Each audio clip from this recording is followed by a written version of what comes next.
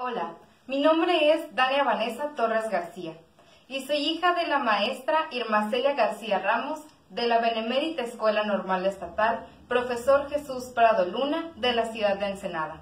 El día de hoy estoy aquí con ustedes para compartirles un fragmento de este maravilloso libro llamado La Casa de las Olas, escrito por Jojo Moyes, que es una autora londinense que nos relata cómo es el mundo de una niña de 13 años y las ideas del amor. Esto con el fin de viralizar la lectura, ya que en estos momentos no podemos salir de casa. Mi madre una vez me dijo que cualquier persona podría descubrir la identidad del hombre con quien se casaría pelando una manzana y tirando la piel entera por encima de su hombro. Parece ser que caía en forma de letra, o digamos más bien que eso era lo que ocurría en ciertas ocasiones.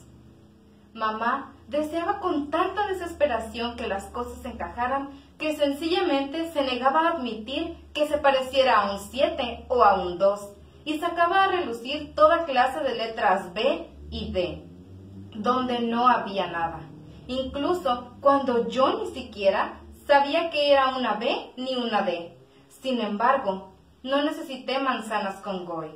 Lo supe desde el primer momento en que lo vi Supe que era su rostro, con la misma certeza que sé cuál es mi propio nombre. Bueno, no me queda más que invitarlos en estos momentos de cuarentena a leer y a transportarse a los maravillosos mundos que son, que tiene la lectura, ya que en estos momentos no podemos salir de nuestra casa, pero sí podemos llevar nuestra mente fuera de ella, enriquecerla y estar mucho mejor. Gracias.